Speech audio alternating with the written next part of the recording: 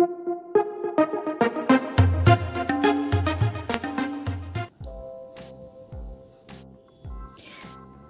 so friends मैं यहाँ पर हेयर स्पा करने के लिए ले रही हूँ मैट्रिक्स की हेयर स्पा क्रीम और उसी के साथ साथ स्प्लिट एंड प्रोटेक्ट सीरम ले रही हूँ मैं मैट्रिक्स का।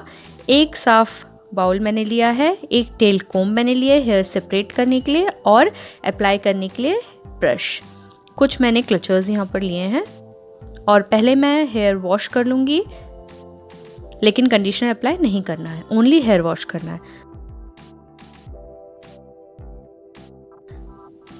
तो चलिए देखते हैं कैसे करना है। आप अपने हेयर्स के अकॉर्डिंग क्रीम ले सकते हैं। मैंने अपने हेयर्स के अकॉर्डिंग दो चम्मच इसमें क्रीम ली है स्पा क्रीम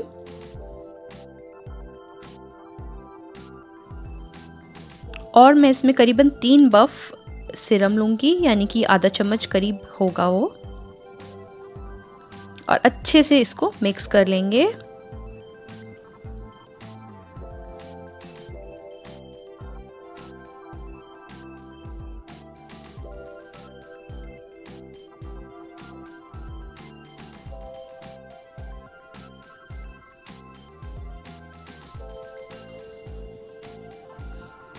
हेलो फ्रेंड्स अब मैंने सिर धो लिया है और थोड़ा सा काजल और लिपस्टिक भी अप्लाई किया है क्योंकि मुझे वीडियो बनाना था।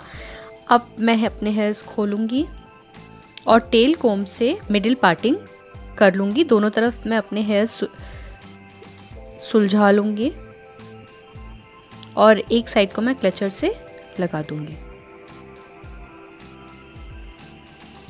अब हम अप्लाई करना शुरू करेंगे। आप इसको रूट्स पे भी अप्लाई कर सकते हैं, क्योंकि जो स्पा क्रीम होती है, वो रूट्स पे अप्लाई होती है।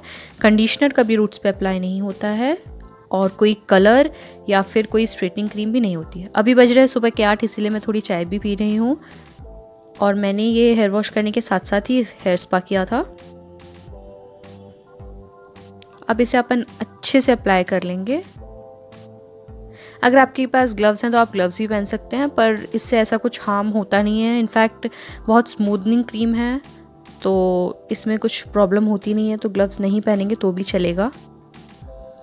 मैंने शायद जल्दी जल्दी में ग्लव्स नहीं पहने थे, मैं भूल गई थी। अब हम इसको एक कोम से अच्छे से कोम करेंगे, जिससे कि क्रीम एक एक बालों में लग जाए। एक साइड हो गया, अब मैं दूसरा साइड करूँगी।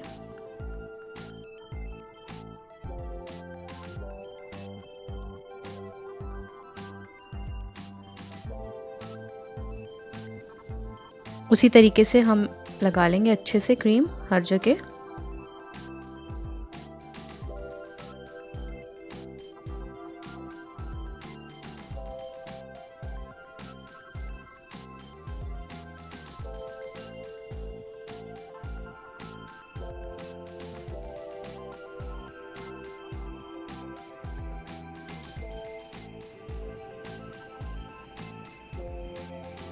अब आप इसको अच्छे से मसाज टाइप का करके जहाँ जहाँ क्रीम नहीं लगी है और अपने जो एंड्स हैं, जो मैंने ऊपर हेयर टाई कर लिया तो वो एंड्स ऊपर आ गए हैं, वहाँ पे भी मैंने क्रीम लगाई है। अब मैं एक पॉलीथीन बाँध के 20 मिनट के लिए इसे छोड़ दूँगी। और उस 20 मिनट में आप अपना थोड़ा काम भी कर सकते हैं। अब मैंने इसको हेयर ड्राई से गर्म कर रही हूँ। अगर आपके पास हेयर ड्राई नहीं है तो मेरे पास इसके लिए दूसरा उपाय भी है। मगर अगर आपके पास हेयर ड्रायर है तो ये बहुत ईजी तरीका है घर पे स्पा करने का, क्योंकि बाहर से जब हम हेयर ड्राई करते हैं तो बहुत हीट अंदर में हो जाते हैं बाल।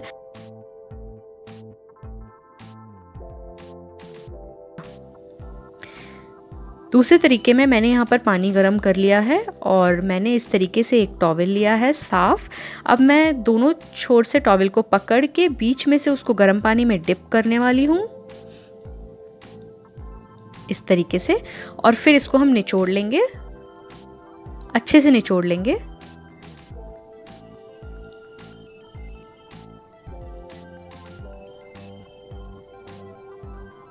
काफ़ी अच्छे से। और हम इसको अपने हेयर्स के ऊपर अप्लाई करेंगे। वो भी पॉलीथीन निकाल कर और ऐसा आप दो से तीन बार कर सकते हैं। अकॉर्डिंग टू आपके बालों का कैसा टेक्सचर है अगर ज़्यादा रफ़ है तो आप ज़्यादा बार इसको अप्लाई कर सकते हैं। गरम को आ, स्टीम को नहीं तो आप एक बार में भी हो जाता है ये।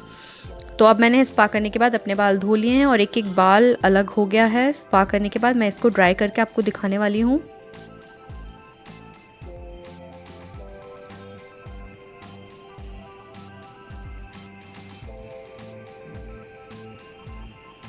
आप जब भी हेयर ड्राई करते हैं तो थोड़ा दूर से ही कीजिएगा, वरना आपके हेयर स्पॉइल हो जाते हैं।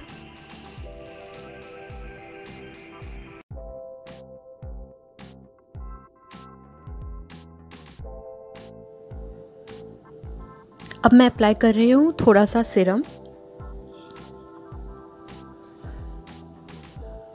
सिर्फ़ एक बफ मैंने अप्लाई किया है। बहुत ही थोड़ा सा। और आप इसको रगड़ेंगे नहीं, बल्कि अपने बालों पे इस तरीके से इसको ऑब्ज़र्व होने देंगे। तो हो गया है मेरा हेयर स्पा और हल्के हल्के सूख भी गए हैं मेरे बाल, पूरे तरीके से अभी नहीं सूखे हैं। देख सकते हैं आप एक एक बाल अलग हो गया है हेयर स्पा करने से।